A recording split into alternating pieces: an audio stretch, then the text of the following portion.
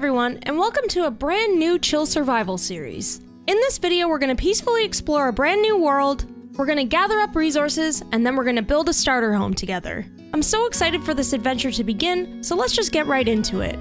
So it looks like our adventure begins in a peaceful flower forest. And with every new Minecraft adventure, the first thing that we need to do is punch a tree to gather some wood.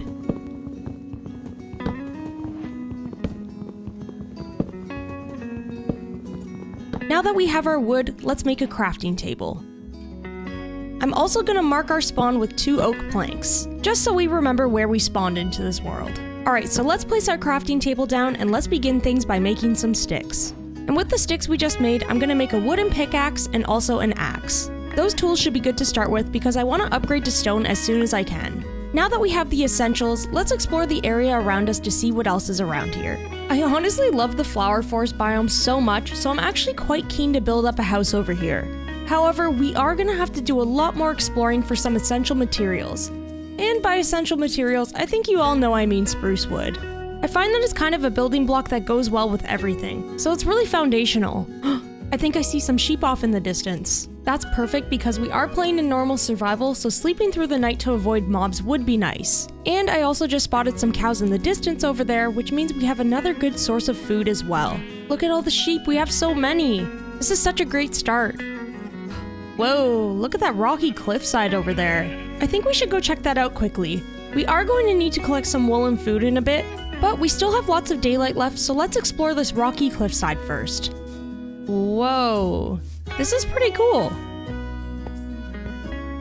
Oh, this looks to be like a pretty big cave. And I see you down there, buddy. I see you creeping. Oh, we've got some iron right there. Let's just begin by grabbing some of the materials we need on the surface here. I don't think we're quite ready to go into that cave yet. So I'm just grabbing some of this stone first so we can upgrade our tools. That way they'll be way more efficient. That should be enough stone to start, so let's grab some of this coal for furnace fuel and also so we can make some torches. Alright, let's place our crafting table down, and now we can make ourselves some stone tools. And lastly, let's make a furnace so we can smelt the iron that we're gonna grab. Perfect. Yeah, these tools are a big improvement. It feels way more efficient. Alright, let's just pillar up quickly to grab this iron. Now we got four pieces of iron, and it probably would be beneficial for me to make a pickaxe with the little that I have, but I think I'm gonna make shears to gather wool. I don't want to hurt any of our sheep friends yet, especially if we're gonna be making a farm area in the future. We'll definitely need the iron tools soon, but we'll worry about that later. For now, we just need to focus on a place to sleep tonight. Oh, where is that coming from? Oh, hello, friend. Bye bye. While that iron's smelting, I'm just gonna gather a little bit more of this coal.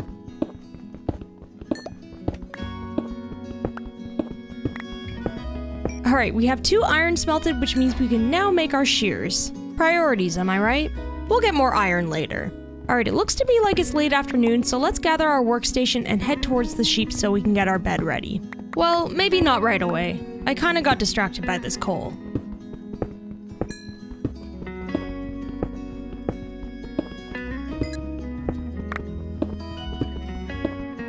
Okay, that was a little bit more than I was expecting, but that's kind of how it is with these coal veins. There's always way more than you realize. Alright, I think we're good on coal for a while. We'll leave the rest for now and let's head over to our sheep. Ugh! Hey, what you doing over here, buddy? I'm barely prepared to deal with you, so get out of here.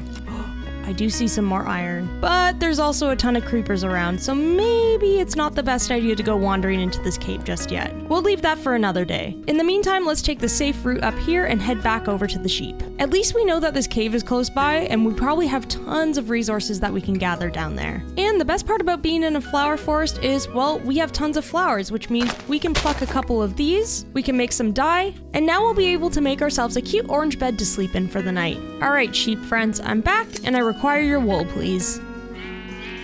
So let's get one of our most important Minecraft items out now, the bed. Except we got kind of unlucky there and we only got two wool from those sheep. I thought I saw another one hanging around here somewhere. There you are. Just gonna give you a quick little trim, and now we have more than enough. Perfect. And let's make our very first bed in this world. And of course, we're gonna dye it orange. So the sun's setting, and I think I'm just gonna camp here for the night. We don't really have a spot for our base picked out yet, so we might as well just hang out and enjoy the nice sunset.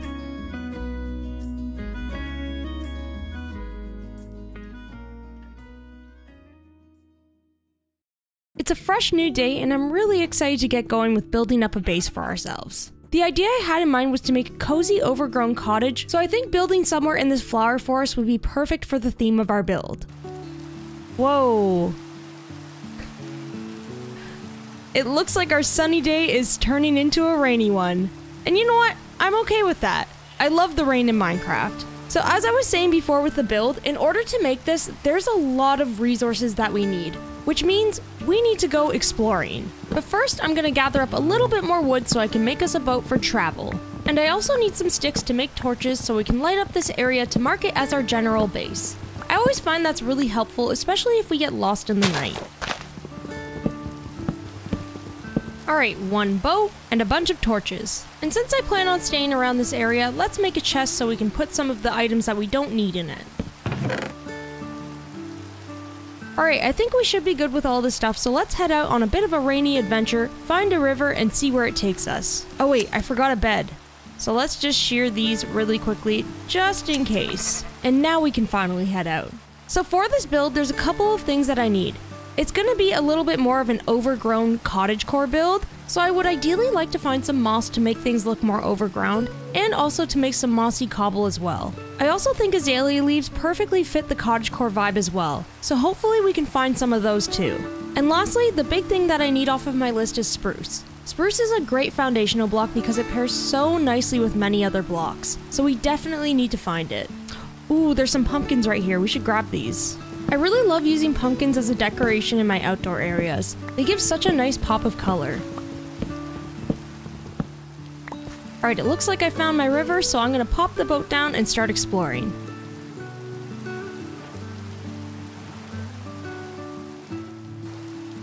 Ooh, let's grab some of the sugarcane while we're here. It's always important to start growing that early on in the game. Also, I just realized that I'm out adventuring and I don't even have a sword yet, nor do I have any food. I figured that since we're close to the river, we could grab some fish to eat.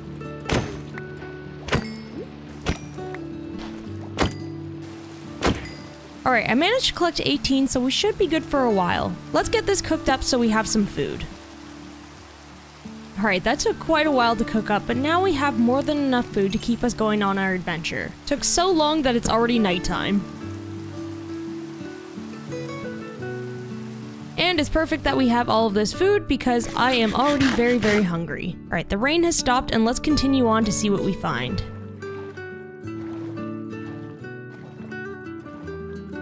No spruce yet, but I have discovered this really beautiful dark forest. I think it would be worth stopping to grab some dark oak saplings in case we ever want to build with it. Alright, let's start chopping down some trees and see if we can get some saplings to fall.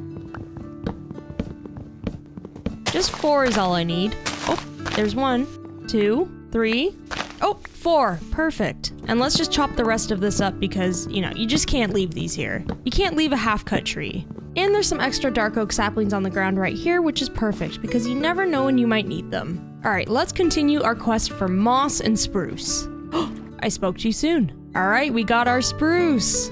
Nice. It doesn't look like this is an old growth taiga, which is kind of disappointing because those have giant piles of mossy cobble, but that's okay, I'll definitely take the spruce. Alright, let's start tearing into these trees to get some spruce and saplings. We'll take as many as we can get.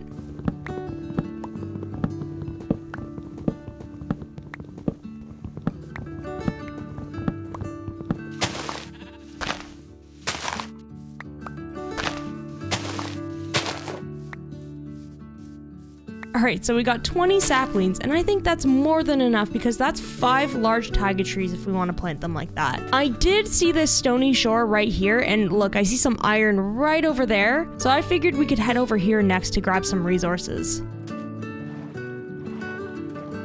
I'm really happy with all of the resources we've found so far. All we really have left to find is some more iron and the moss. I just realized I still have these wooden tools in here, so I'm just gonna...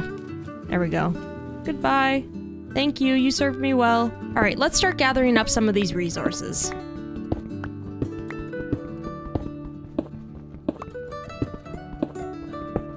The sun is setting, so I think this is the perfect spot to rest up and smelt some iron overnight.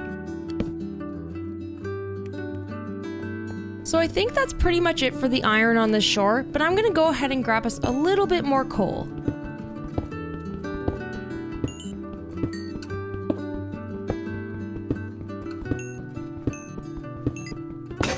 Alright, I think that's a sign for me to make my iron pickaxe. Let's grab this, and let's make our first ever iron pick. And we have a little bit of iron left over, so I'm thinking maybe we should also make our shield, since we're off exploring and things could get kind of dangerous. Anything can happen in survival and we gotta be prepared. Alright, I feel like we should grab our boat, break up this station, and see if there's anything else useful in this area. Whoa! We've got a little snowy mountain over there. Whoa, and a big cave. Ooh. I feel like we should go look at this cave first because I'm in desperate need of iron at the moment.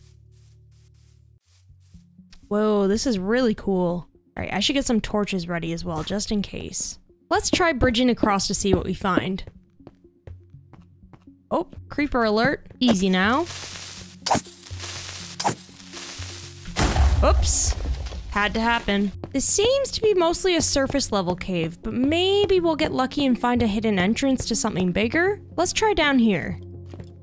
Let's see if there's anything past this coal. Hmm, this is looking like a dead end. Yep, no luck here. What about if we go down here? Ow. Oh! It looks like there might be a big passage. Oh my gosh, is that Lush Cave? Yes, I think we found it. This was very, very lucky. I almost didn't bother with this opening. Oh yeah, that is definitely moss. This is very steep though. We need to be very careful. I should have gotten a water bucket as well. We did get our first pieces of moss though, so that's good. We're gonna need quite a bit more than that though. there we go. Oh, I'm so happy that we found one of these. That's awesome. I also find that lush caves are pretty full with iron as well, so we should be able to collect everything that we need here. So I think it's worth exploring this place for a little bit to gather up some resources. You can already see some over here as well. Plus this clay is also very useful because I usually use a lot of it to make like flower pots, terracotta, all of that stuff. So let's just take our time gathering whatever we need from here. Wow, this is awesome. Alright, let's find a way down. I think I'm just gonna carefully dig myself a staircase going down. That way we can get back up easily too. Whoa, this is a huge iron deposit. Awesome. This is such a pretty lush cave. I love it. Lush caves are one of my favorite biomes in this game.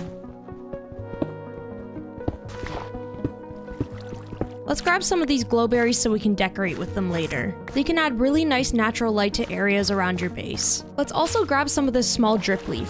I love putting these around paths and in ponds. It makes areas around your base look really lush. Oh, and we got some more iron over here.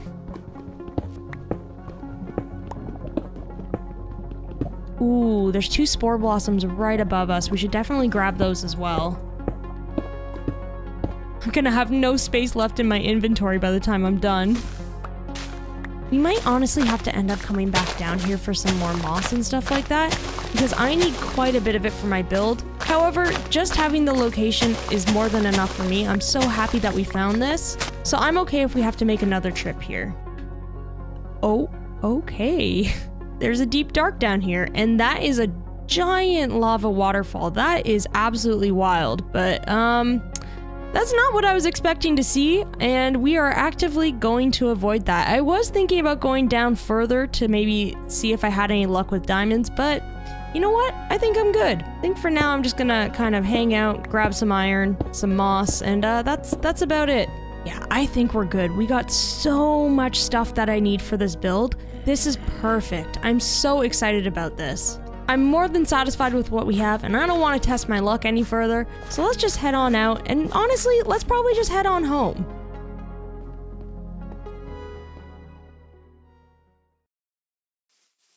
So we are back at our base safe and sound with all of our goodies from our adventure. So let's start things off by getting that iron smelted so we can make some tools and armor. So I'm really in love with the area that we spawned in and I don't think I really want to move. It has pretty much everything we need around here. However, now we have the task of finding the perfect location for our house. So this area is pretty nice. I mean, we have like a really cute little lake down here. We've got a lot of flat land. We have this really nice cliffside edge over here. However, I'm not a big fan of the plains grass. I kind of like the richness of like the forest grass instead. So I was thinking of maybe picking a spot that's a little bit further into the flower forest, but still close enough that we could eventually do something with this cute little lake and plains area when we want to. So let's see what's over back in this direction on the other side of this hill. Honestly, it's not too far of a walk and we've already hit an ocean with a little beach area. This little beach is really cute as well. What if we go somewhere in between the beach and the plains biome? Somewhere around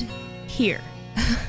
Literally right where we spawned. I don't think I've ever done this in any Minecraft world that I've had before, but I kind of feel like I want to build where I spawned. If we clear out some of these trees, we have a really nice view of a mountain behind us, we're really close to the beach and the ocean, and then we're a really short walk back to the plains area with that really nice lake. It kind of feels like we've got everything that we need around us, and it's perfect. I don't really see a reason to explore further beyond to find a different location to live in, because I really like this area. So I think our next task would be to make all of our iron tools and gear. If we're cutting down all these trees and terraforming, I need some better tools. Alright, I've got all the tools that I need, so now let's make some armor. So we've got all of our armor made, so let's suit up and get this on us for protection. Now, you may notice it doesn't look like I'm wearing the armor, but that's because I'm wearing the invisible armor mod, because I really like my cottagecore outfit and I want to be able to see it. Alright, the sun is setting, so let's head on to bed, and in the morning we will bring everything over and begin terraforming our new area. So I actually stumbled across this really big flat patch of land pretty close to our spawn area, and I think this would be the perfect place to build. We've got a nice mountain behind us, we've got a ton of flowers. I think this is the spot. Plus, it'll be less terraforming for us in the end, which is really nice. There's nothing worse than having to terraform when you only have some iron tools on you. Alright, now that we have everything moved over, let's start torching up this area a little bit, just in case we work late into the night and mobs start spawning. And let's start clearing out this area so we have a nice open space to build our house.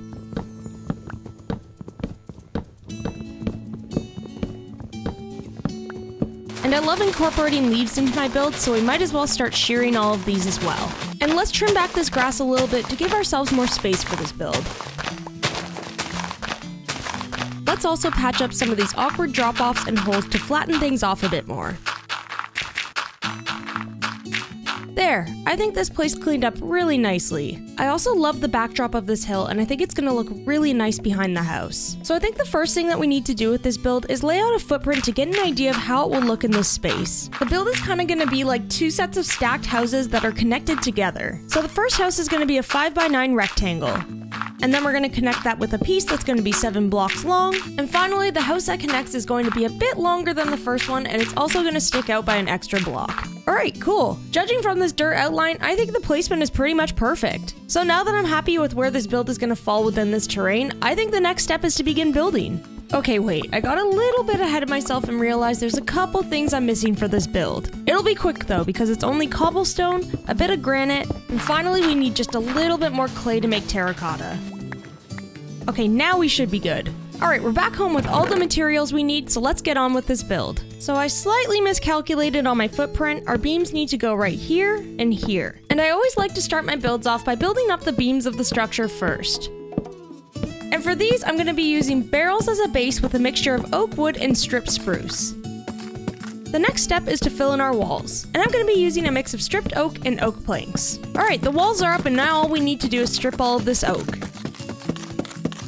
And there's the basic shape of our build so far. It doesn't look like much just yet, but it's really going to come together once we put the roof on and add some details. And before I forget, let's plant some of these saplings so we have some spruce if we need more.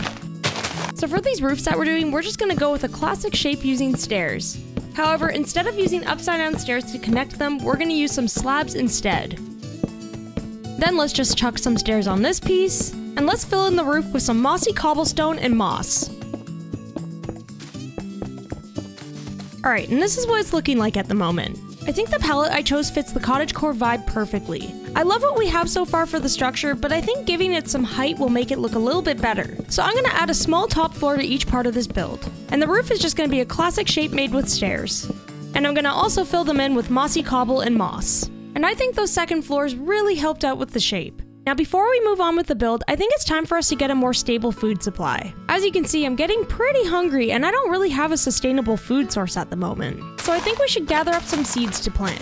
Not only can we make ourselves some bread, but we can also begin breeding cows, which is a great food and leather supply.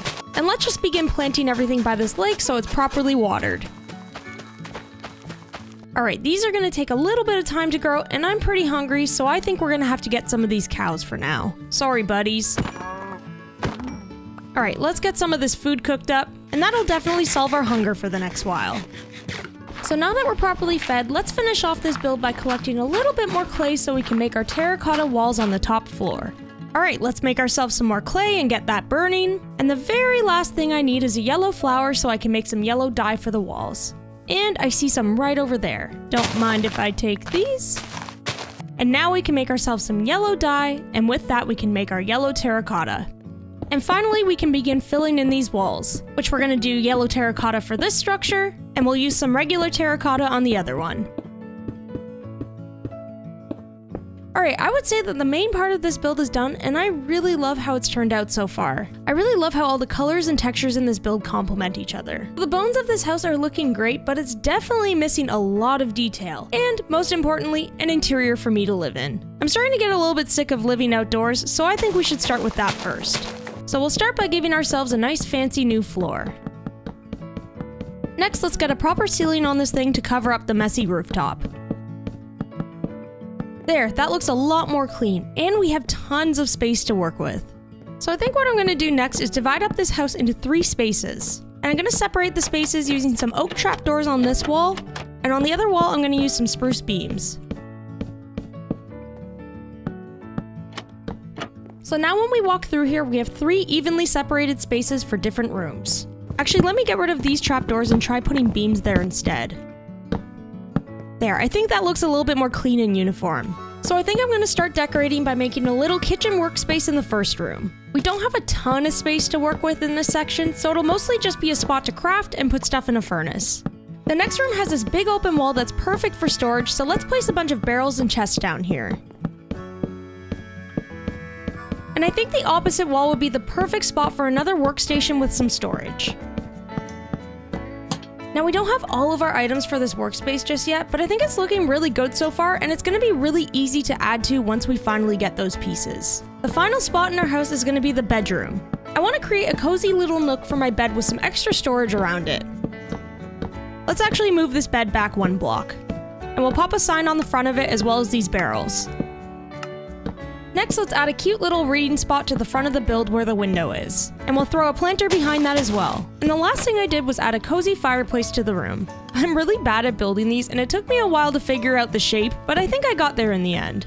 Alright, and this is the interior of our build. We are missing a few key items that I love to add to my spaces such as lanterns, paintings, and carpets, but once we get the material we need for those, the interior is going to look even better. But for now, I really like what we have. Now that we finally have a proper spot to rest in, I think it's time that we kick back for the night so we are well rested to do some work on our exterior in the morning.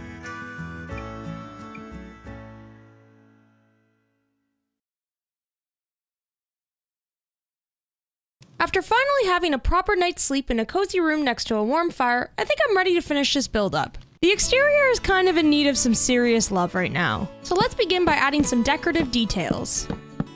This spot on top of the door is looking a little bit too long, so let's pop in a window here. I think that's much better. Next, let's put up an awning above the door to give this wall a little bit more shape. now for the windows, I'm going to pop out the top parts and replace them with upside down oak stairs just to give a little bit more shape above the window. And I think these campfires are going to cover up that shape a bit anyway. That's okay. I want to use white stained glass windows because I really feel like they fit the cottagecore vibe. So let's grab some of this Lily of the Valley so we can make some white dye. And let's just craft that up really quickly. And let's just pop these into the windows. And to finish off the windows, we'll add some shutters. And for the top floor windows, we're going to do the same, except for the shutters, we're going to use oak trapdoors instead of gates. To give this build a little bit more shape and texture, I'm gonna add signs to the tops of the beams here. Just these few details alone have really added a lot of character and shape. But we're not done yet. I really want to add some azalea leaves to the build because I think the colors of the leaves and the flowers on them would really complement the build so well. Now my only problem is that I don't have enough bone meal to grow an azalea tree to get leaves. So I think that means I need to be brave and head into the cave nearby so I can find some skeletons and get some bones. I definitely don't have enough iron to make an efficient bone meal machine just yet, so I think this is currently our best option. Plus, it's just a little cave. What's the worst that could happen? Ow. I saw a skelly over here a second ago, but he must be hiding because he's so afraid of me. Oh, there you are. Uh-oh, there's a lot of zombies here. Oh my gosh. Oh no. Yeah, this is a problem. And I forgot food, so I am in fact resorting to eating zombie meat. Don't judge me. Alright, let's see if I can bring the skeleton over here away from the other mobs. Oh geez. Oh no. I probably should have come a little bit more prepared. Ow. Yep, that hurts. Ooh, I'm kind of low health and this food isn't helping, so I think I just need to take them out and go. We only got one bone out of that? Or is that the one that was already in my inventory? oh no. Well, that didn't go too well, so maybe it's time for plan B. Killing salmon for bone meal and food. Which, yeah, that didn't really work either. But at least I got some food out of it because I was getting pretty hungry. Alright, option three it is then. Slowly bone mealing seeds and flowers. Which gave me a total of, uh, three bone meal. So thankfully I had that bone in my inventory and I'm really hoping this is enough for us to grow this tree. Whew, amazing. And with this four leftover bone meal, let's decorate this area with a bit of moss. And finally, we can grab all of these leaves that we need. Alright, let's finish up the rest of this build. So let's start by adding azalea leaves on the mossy spots of the roof. I sometimes like to replace some of the pieces of roof with leaves because that way they're a little bit more integrated into the build, rather than resting too high above it. And now let's add some shrubs around the side of the house, and I think that should be good for the leaves. It was kind of a big trek to get them, but I think it was worth it, because they honestly add such a nice texture to the build, and the colors of the leaves complement everything so well. Next, let's add some flowers around the windows. I'm gonna go with some lilacs and lily of the valley. I think lilacs complement the color of the flowering azalea leaves perfectly. Now I managed to find some iron while I was going through that cave, so I'm gonna make a bucket. And I'm just gonna run and grab some water really quickly because I feel like having some wheat on the outside of the house would complement the yellow terracotta really nicely. Let's grab some more seeds while we're at it. And let's throw a patch of water down right here. Now let's till some of this land and get some seeds planted. Now I'm gonna go ahead and place one more patch of water here. And I'm gonna replace this with dirt again because I really like having tilled soil underneath flowers. It makes it look a little bit more like a garden bed. And then finally, we're gonna close these two bits off with some sparse bits of fencing. There, this is really starting to come together. Now the front of this build is looking great, but the sides, not so much. One thing I like to add to my builds are lean-tos and little awnings. The best part is you can use these spaces for practically anything. This one, for example, I'm going to use as a little bit of an outdoor workstation. And I'm also going to make one on the other side of this build for an array of bulk storage. So we'll toss down some pumpkins, barrels, wood, and also some pieces of granite slab to look like rock piles. And I think that's looking really nice. The last thing I'm gonna do is add some pathing around this area. Now we don't have any other parts of this base to connect to yet, but it's still nice to have a path started. And I think our starter home is pretty much done. Well, as done as it can be because we are missing a couple of more resources in order to finish it, but that would require us going on some further adventures another time. Now you may have noticed that I did also add in a bunch of chimneys into this build. Chimneys always do such a great job of adding a lot of life, movement, and also sound to the builds. So I connected one to the furnaces at this workstation, and I also added two on top of the house as well. I'm really happy with how this build turned out. It's the perfect amount of space and honestly has everything we need for the start of this game. There are definitely some decorations and details that I would like to add going forward, but I guess that just means we're gonna have to go on some more adventures to find those materials. Now that we have a solid starter home to come back to, I'm feeling a lot more confident to explore this world further. So I think that's gonna be it for today's episode. Thank you so much everybody for watching, and I really hope you enjoyed this more chilled, laid back style of video. If you enjoyed it, feel free to leave a like and subscribe, and let me know in the comments what you would like to see me do next. We had the start of a big new adventure today, so for now, I think I'm gonna go relax in my new home and get some rest. I'll see you all in the next one.